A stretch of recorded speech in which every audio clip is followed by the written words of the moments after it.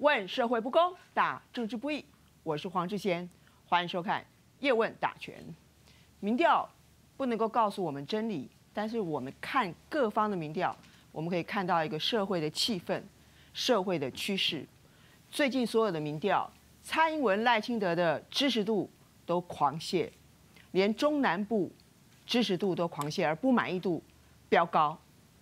然后更可怕的事情是在台北市。柯文哲加上民进党的支持度，竟然只赢国民党提出来的丁守中五 percent，这这样子的民调，告诉我们什么样子的社会气氛？告诉我们台湾人现在心里对民进党、对柯文哲，我们变心了吗？而执政的人他们在做什么呢？赖清德他去祭拜追思八田雨衣。日本的对台湾的工程师，文化部出公文说，大陆授权在台湾出版的书都要给我事先审查。然后最近一个新的台湾剧叫做《质子之心》，看完那个预告片让人瞠目结舌，里面俊男美女都是日本人，里面每一个台湾人都衷心挚爱日本，称呼。大陆叫做敌人，把没有的事情全部都可以讲到有。我这完全是一一出拍给日本人看的一出日本剧，竟然会在台湾制作播出，到底怎么回事？今天跟我们一起打拳的董哥董志森，大家晚安。政治评论员李胜峰，大家好。前立法委员朱高正，大家好。资深媒体人郑思成，之前大家晚安。资深媒体人黄伟汉，主持人好，观众朋友大家好。好，我们来看最新旺旺中时的委托艾普罗的民调，看到丁守中四十二点七的支持度，如果是柯柯文哲跟丁守中对决，柯文哲只有三十六点五，不支持跟无反应的差不多两成，一般的投票率能够达到八成就已经很多了。好，那如果是三国鼎立呢？柯文哲三十二，赖清德。十三点二，看起来赖清德很低。当然，这是如果说是民进党他征召赖清德来，但问题是到目前为止也没征召赖清德，也没表态，所以会讲赖清德当然比较低，加起来是四十五，而丁守中也有四十，这样子两方加起来才比丁守中多五 percent 而已，这是非常震撼性的一个新的发展。然后我们来看联合报的民调。这是针对蔡英文总统他的施政满意度，满意的只有二十九 percent，赖清德的满意度四十一 percent，不满意蔡英文的五十六，不满意赖清德的四十。可以看到赖清德他的蜜月期已经过去了，然后蔡英文总统施政不满意度继续攀升。看看云嘉南，这也是民党强的哦，满意只有三十三，不满意的过一半五十二。最绿最绿的高雄、屏东、澎湖，满意的三十八，不满意的也有四十四。那其他的北基、桃竹苗、中彰头、花东这些，满意度都低于三成，不满意度都超过五十四。好，苹果日报的民调一般来认为，苹果日报是比较年轻的，它的施政满意只有三十四，不满意更高，只有六十二 percent。竟然这么高，而赖清德的满意三十六，不满意五十七 percent。国民党自家的民调呢，满意蔡英文总统二十，不满意六十九，满意赖清德的三十，不满意的五十点七。好，看到这样的民调，我相信民进党跟执政者他们每天都会在做民调，他们看到的民调。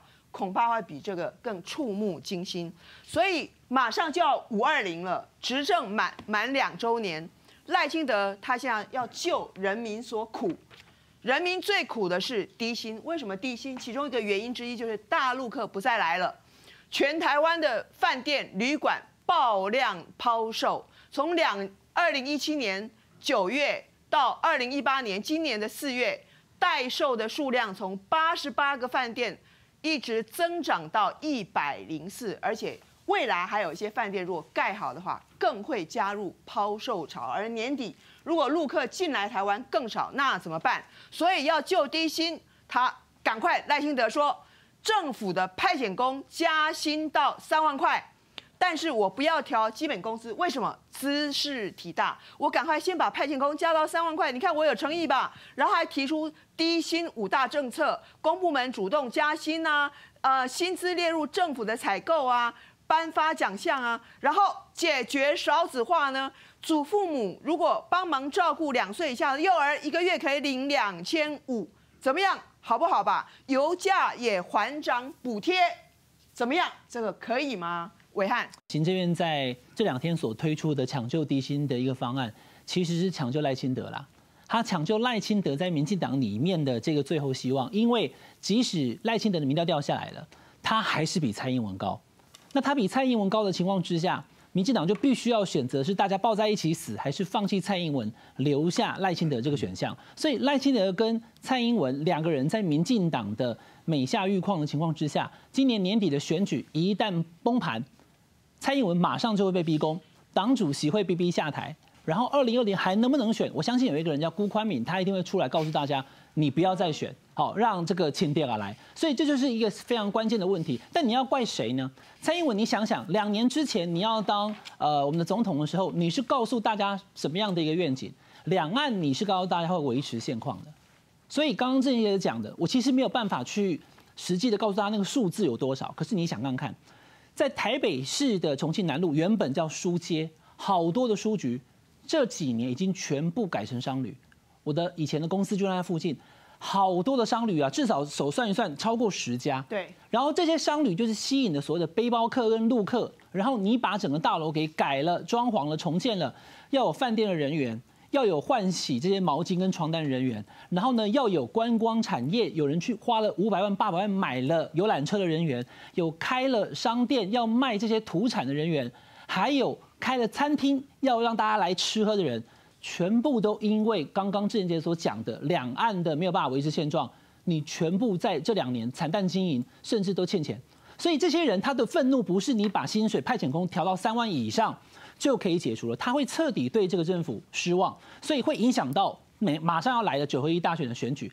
一个台大的校长依法选出来了，然后现在从一月五号一直到今天五月十三号，教育部仍然悍然不让他去。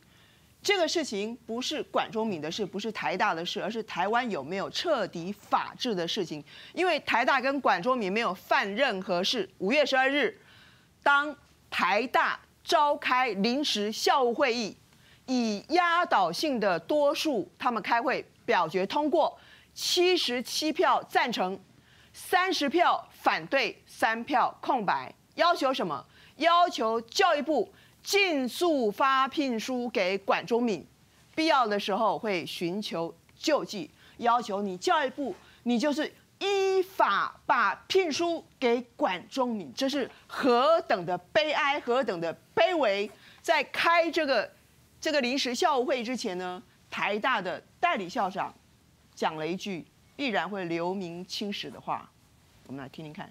今天呢，我们在这里将写下历史，让后世的人来评价跟批判我们。五月十三日，民进党的吕秀莲前副总统跟张善政在国民党执政下的前行政院长发表共同声明，吕秀莲说：“建请教育部依据大学法第九条规定，聘任管中敏担任台大校长，希望就法论法。”张善政也说：“支持台大的决议，回归法治解决。”多么悲哀啊！二十一世纪的台湾。所有的人呼吁这个执政的人，请你依法吧，师成哥。这么说吧，再讲法，台台大的这样聘任校长的案子，教育部从头到尾没有权利去管，就这么简单。他只能他只能让他就是我我你过来以后，我让你存餐，就这么简单就过了。可是呢，他就一直要从头到尾管到底。最近的发展是包括。阿扁的教育部长叫黄荣春，包括诗人杜也是挺绿的，包括前副总统吕秀莲都说你要依法处理。然后大家在推来推去，到到底谁是幕后藏镜人？然后我们这个蔡总统在今天这个广播里面说：“哎，我也不知道谁是幕后藏镜人呢，请谁来跟我讲一下。”在那边哈给狗戏杀，然后包括教育部跟行政院这边推来推去，推来推去，到底要发生什么事情？这个对于台湾的教育界非常的惨啊！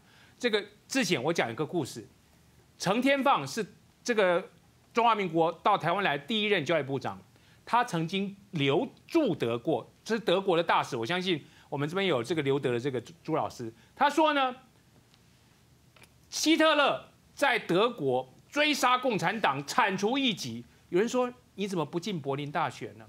他说柏林大学有康德、歌德、费希德，他是德国三哲人这样的一个精神堡垒，最好不要惊动他。连希特勒都不敢去动柏林大学，我们。中华民国的中华民国的这个高层真的有够厉害耶！台大这么一个有历史价值传承跟文更这种所谓的地位的这样的一个大学，搞成这个样子，真的是丢脸。好，台大终于保留最低的底线跟骨气，立刻驳回教育部，但教育部立刻重申，你台大还是要给我重新遴选。重新搞一个遴选委员会，重新给我遴选校长，我就是不认。你这个程序就有有瑕疵。然后今天蔡英文总统呢，他要求要求总统做政治解决是不好的。这句话是蔡英文总统在广播里面讲，他说有人试图要把它政治化啊，这是法律问题，根本不是政治问题，我不要政治化。听听看他怎么讲。教育部它是依法律在处理啊，它是一个法律问题，不是政治问题啊。那我们现在看到的倒是呃，有些人试图把它政治化了啊。那如果按照这个管教授这样的说法的话，他不是要要求总统做政治介入吗？反而是不好，要让回归到法律程序处理。那教育部依法。没有任何资格可以驳回管中你对他有任何质疑，请你到法院去告台大，你不能够不发聘书。但是教育部什么都敢做。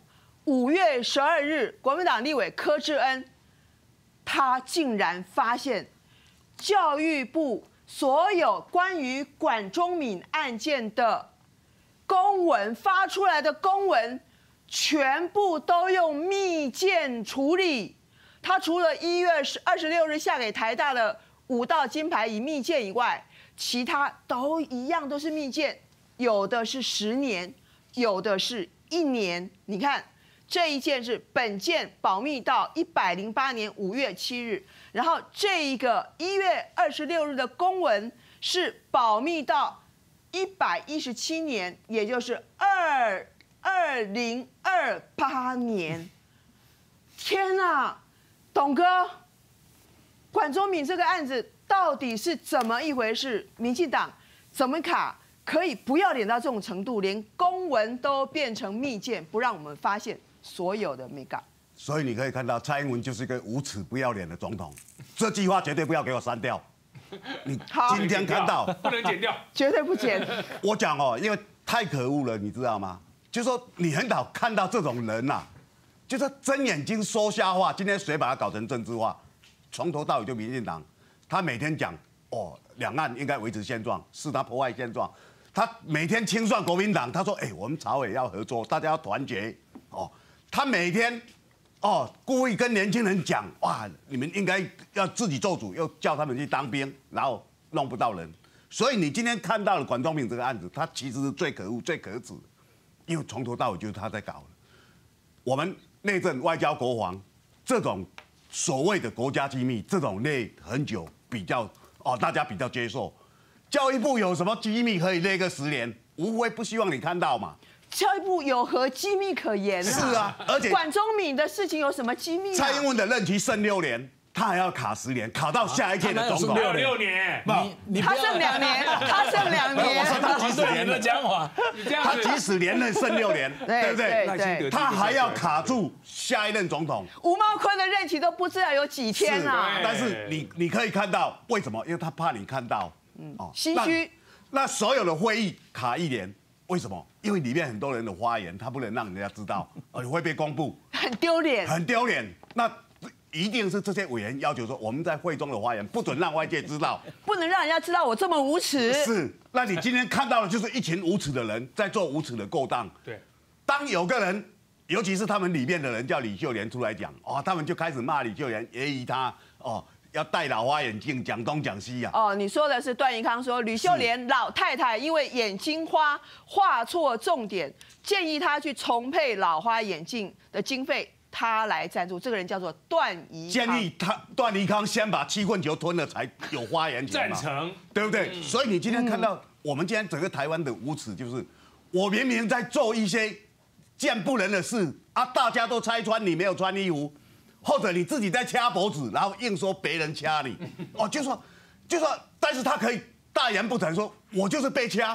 明明影片不是这样。那蔡英文今天就是，你明明用政治在解决管中敏这个事情，故意不让人家上，你就可以说，哎呀，那些人哦都是在在用管中哦，在用政治的方式，就是睁眼睛说瞎话到这种地步，你知道吗？台大的这个校务会议，他非常正确的做出了，那我就是这个名单，我就是这个人选，我再送给教育部，所以这才是最正确的，因为你没有权利驳回这个名单，或者是要求遴选会怎么做，遴选会已经做出决定，就是这个人，你只能够聘任他，之后的问题你可以去告台大，但是你不能不聘任。